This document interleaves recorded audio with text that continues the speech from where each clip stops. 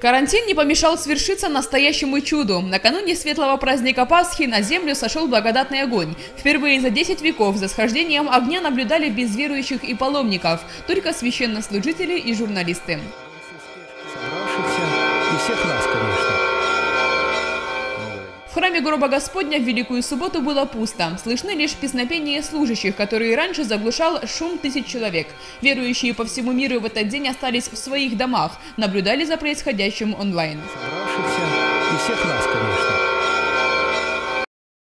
Не нарушая добрую традицию, благодатный огонь спецрейсами отправили в разные страны мира. Привезли его и в Казахстан. Православных страны с этим событием поздравил митрополит Астанайский и Казахстанский светлой пасхальной радостью щедро поделиться и с ближними, и с дальними, со всеми, кто живет в нашем общем доме, под мирным небом нашего Казахстана.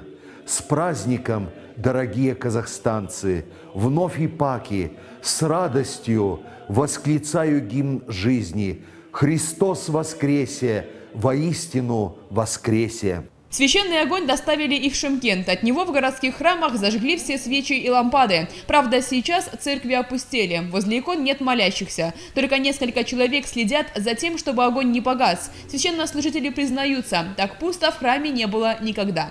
Все лампады сейчас, все свечи в храме, они зажжены от того благодатного огня, который сошел в Великую Субботу в Иерусалиме. Поэтому когда наступит день и час, я думаю, можно будет прийти и эту святыню унести к себе домой. На протяжении всего времени мы будем поддерживать эту святыню. Здесь э, служащие храма, которые непрестанно следят за тем, чтобы он не потух. Непрестанно 24 часа в сутки мы находимся вот здесь для того, чтобы сохранить эту святыню для вас.